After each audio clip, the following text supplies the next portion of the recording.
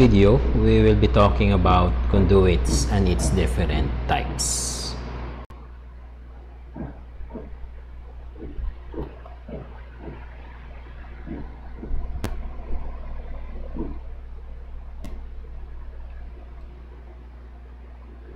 So the objective of this uh, lesson no, or this video is that identify, we need to identify the different types of conduits. So the most commonly used raceway in residential and commercial electrical installation is a conduit. This raceway is readily available and is, very to install. Conduits are grouped depending on the material they are made of. The three main types of conduits are metal conduits, non-metallic conduit, and flexible conduits. Okay, so we have the types of conduit. So we have the metal conduits.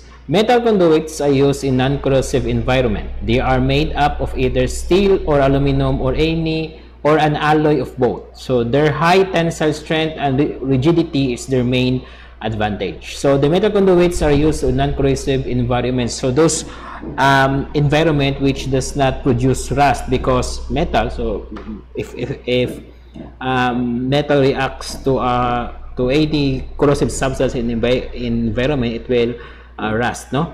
So they could be made up of steel or aluminum or an alloy or the mixture of both steel and aluminum. So they have their their high tensile strength and their rigidity is their main advantage. No. Okay. So the first type is the rigid metal conduit or RMC, no? also known as the rigid steel conduit, RSC or the rigid conduit.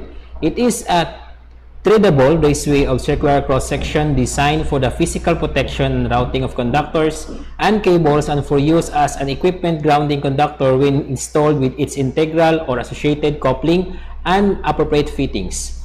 RMC is generally made of steel, ferrous, no? or, or with a protective coating or aluminum non-ferrous.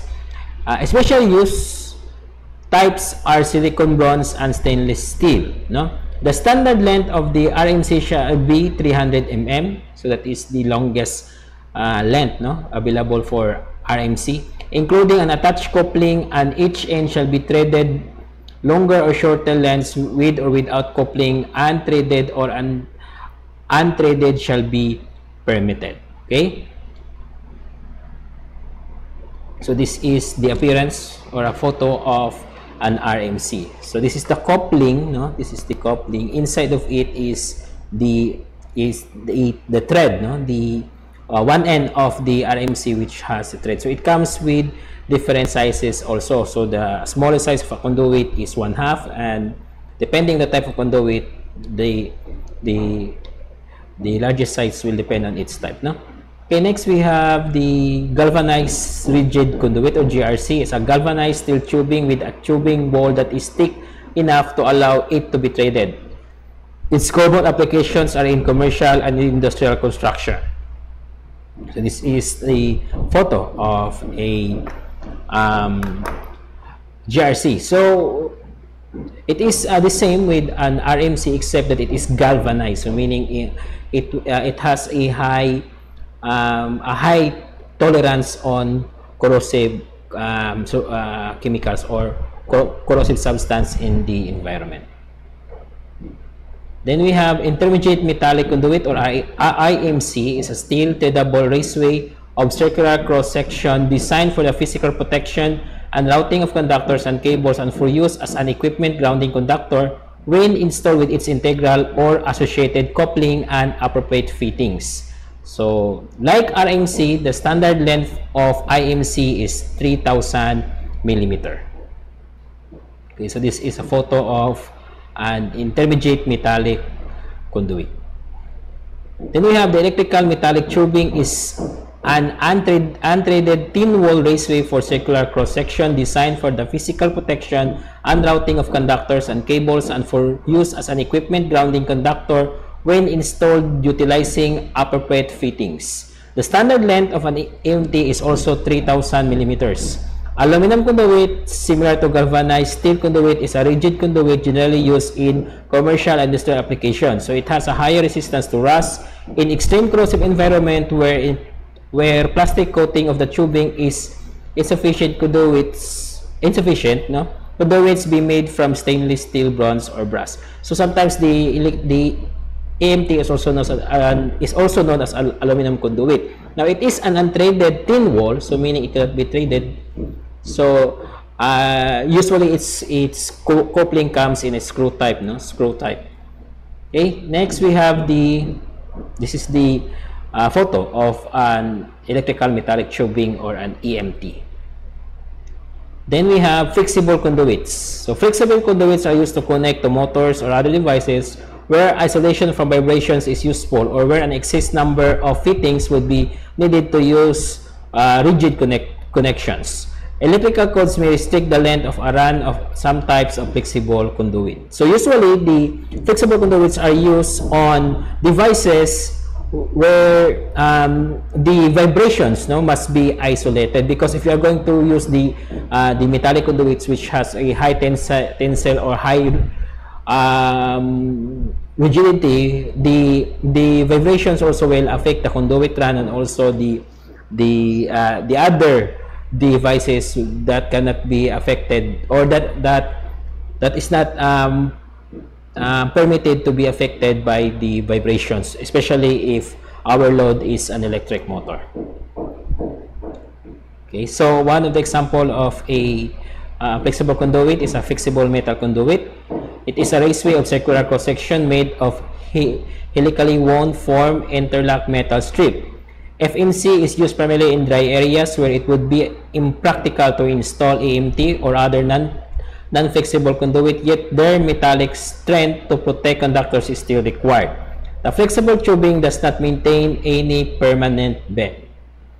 FMC may be used as an equipment grounding conductor if specific provisions are, made, are met regarding the trade size and length of FMC used in addition to the amperage of the circuits contained in the conduit.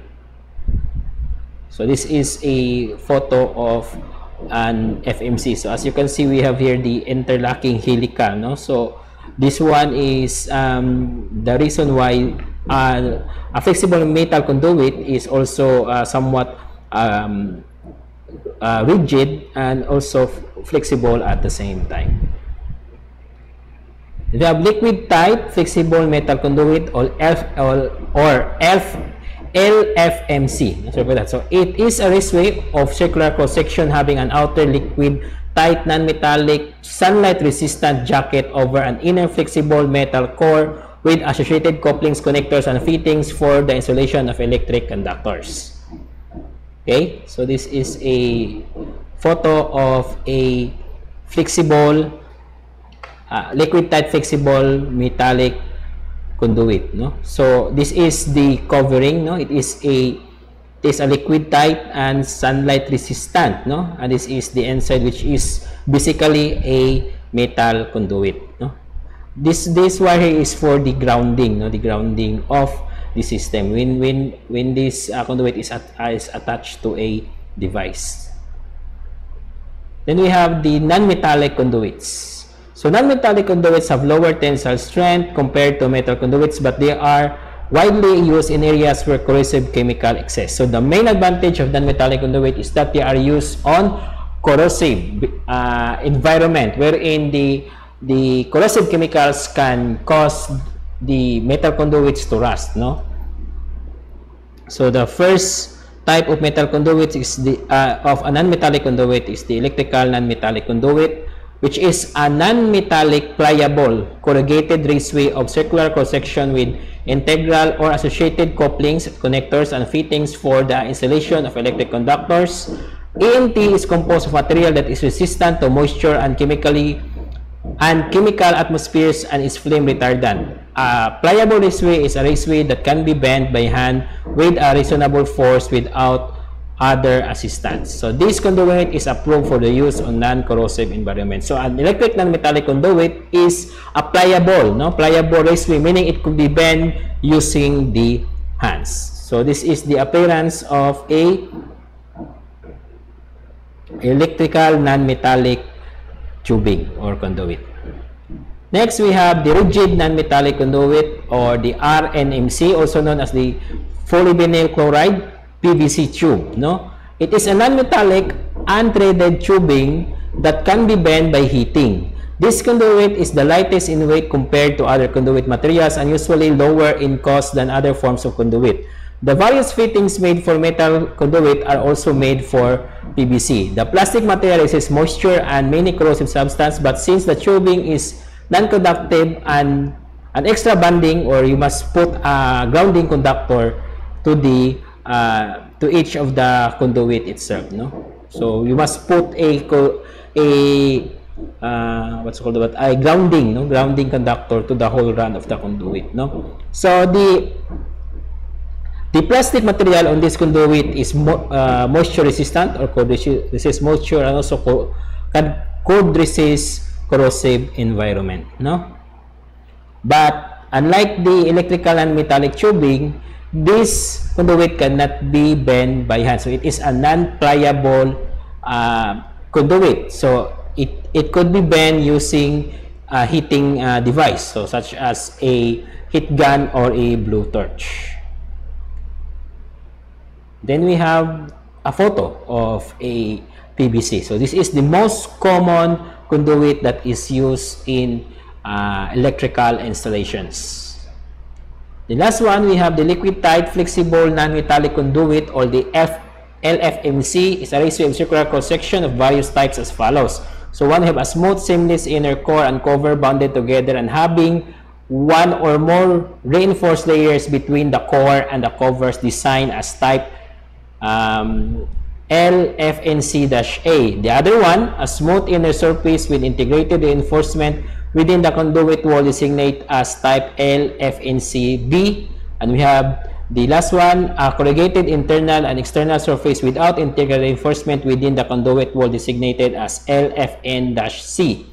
LFNC is a flame resistant and with fittings and is approved for the installation of electrical conductors. This conduit, the, it, uh, the whole three types of this conduit is uh, can be used or is used in corrosive areas where conductors need to be protected from vapors and liquids. Okay, so this is a photo of a liquid tight flexible non-metallic conduit. Okay, so that will be our discussion for conduits and its different types. So I hope you understand something in this video and as always, enjoy learning.